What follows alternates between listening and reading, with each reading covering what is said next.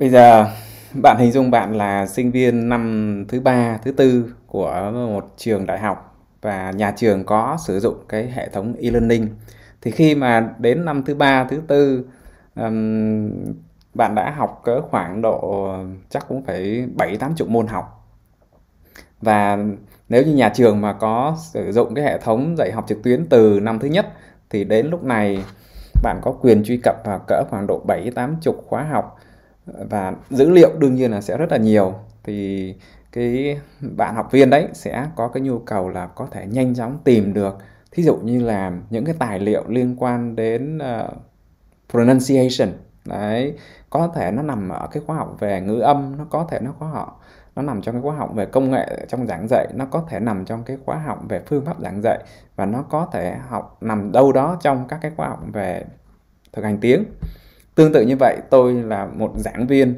hay là tôi là ông trưởng khoa của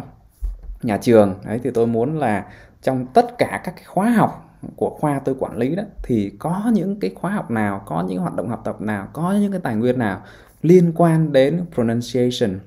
Bây giờ lên Google chúng ta gõ từ cái khóa vào thì nó sẽ ra tất cả rất nhiều tài liệu nhưng mà nó không có phải là tài liệu ở trong cái hệ thống e-learning của mình đó nào? Đấy, thế thì một cái tính năng cao cấp của cái hệ thống e-learning ấy là nó phải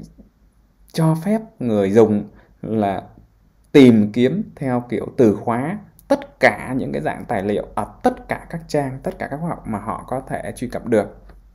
Thì trong cái hệ thống uh, của chúng ta nó có một uh, cái block cho phép làm điều đấy nó có tên là global search. Thì khi mà click vào global search thì à,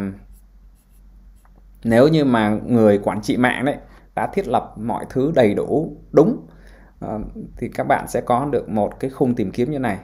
Và lúc đấy bạn chỉ việc gõ cái từ khóa về cái tài liệu học tập mà bạn muốn tìm ở trong tất cả những cái khóa học mà mình có quyền truy cập. Ví dụ như tôi muốn tìm à, những cái gì liên quan đến pronunciation về phát âm chẳng hạn. Đấy, thì ở đây này các bạn thấy là nó ra à, rất nhiều. Ờ, bạn có thể chọn theo kiểu là tất cả những nơi mà bạn có quyền truy cập hoặc là chỉ trong nội bộ cái khóa học à, hiện tại. Ở đây thì tôi chọn tất cả các à, nơi ở trong thì các bạn thấy đây à, từ cái khóa học về phương pháp này Đấy, rồi à, cái khóa học à,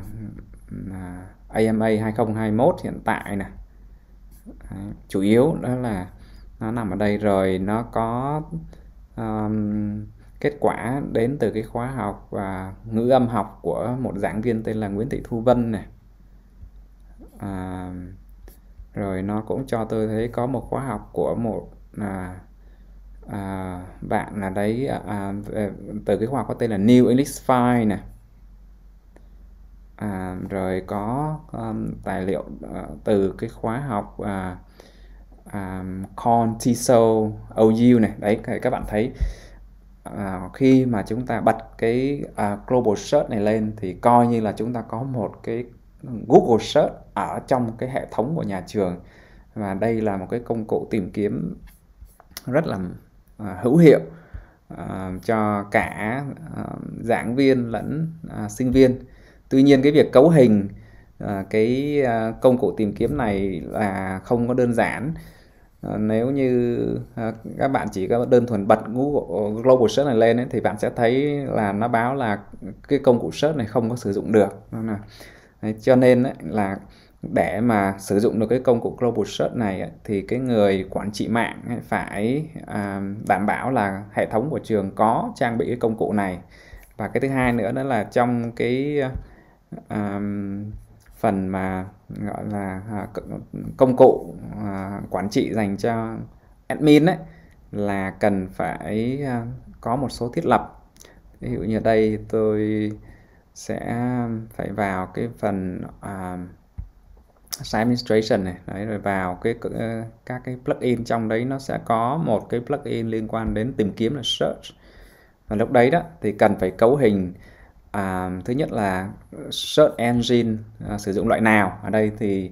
à, tôi khuyên là chúng ta dùng cái symbol search à, để cho um, nó uh, dễ cấu hình. Cái thứ hai nữa đó là à, định nghĩa cái khu vực tìm kiếm. Đấy, và đặc biệt nữa là sẽ phải à, gọi là lập cái thư mục à, à, cái cái cái cái à, gọi là cái list của các loại tài liệu có trong hệ thống. Khi mà chúng ta bật cái tính năng index data này lên đó, thì hệ thống nó sẽ phải nếu mà là lần đầu tiên nhé hệ thống nó sẽ phải chạy rất là lâu để lập cái danh sách các cái tài liệu có. Cho nên à, các bạn nhớ là chạy cái này ở vào thời điểm mà server không có người sử dụng tốt nhất là chạy lúc 12 giờ đêm và đến lúc cái khoảng độ 3 4 giờ sáng hay là 5 6 giờ sáng thì nó chạy xong à, chứ không có là ờ, lúc mà đang đông người sử dụng mà chạy cái này là coi như là sập server. Rồi sau đó là phải chọn thêm cái chế độ là enable global search. Nói chung là cái công việc này thì hãy để cho uh, admin của hệ thống là làm cho các bạn. Còn đối với lại uh, giảng viên trong khóa học á thì chúng ta chỉ việc uh, sử dụng mà thôi. Đấy thí dụ như bây giờ tôi quay trở lại cái khóa học của tôi và trong đấy nó có sẵn cái công cụ um, uh, global search phải không nào đấy. thì uh, à, bây giờ tôi sẽ thử lại nhé Đấy, tôi search lại cái um,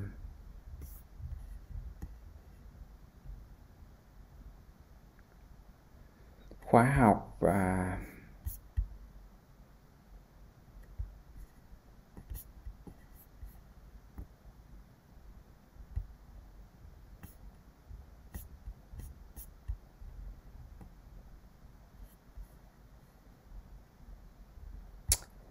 à,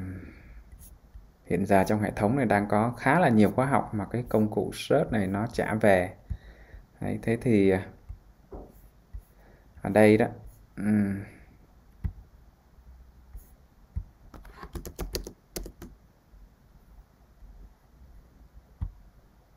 tôi phải à, thêm một cái lựa chọn đó là chỉ có search cái khóa học à, gọi là AMA Vinh 2021 thôi để mới quay trở lại được. Đấy thế thì khi quay trở lại khóa học các bạn sẽ thấy cái công cụ Global Search ở đây. Và à, các bạn nhớ nhé khi mà chúng ta bật Global Search lên á, thì bây giờ là à, khi gõ một cái từ khóa nào đấy à, để tìm kiếm thì nó sẽ không có chỉ tìm kiếm cái à, khóa học mà nó tìm kiếm tất tật những cái nội dung à, có liên quan cho nên là giả sử như đây đó mà muốn là à, tìm kiếm chỉ có liên của những cái khóa học nào mà có cái từ khóa technology thôi chẳng hạn Đấy, thì à, chúng ta phải à, à thêm cái à, gọi là cái tiêu chí tìm kiếm như vậy.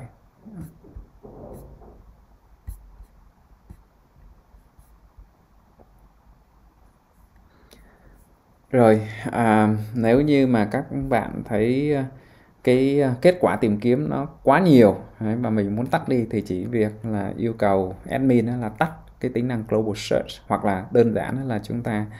à, không có sử dụng cái block này. Nhưng mà